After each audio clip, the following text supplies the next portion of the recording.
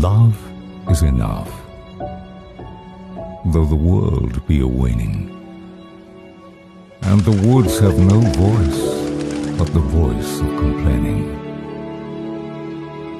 Though the sky be too dark for dim eyes to discover, the gold cups and daisies fair blooming thereunder. Though the hills be held the sea a dark wonder, and this day draw a veil over all deeds passed over.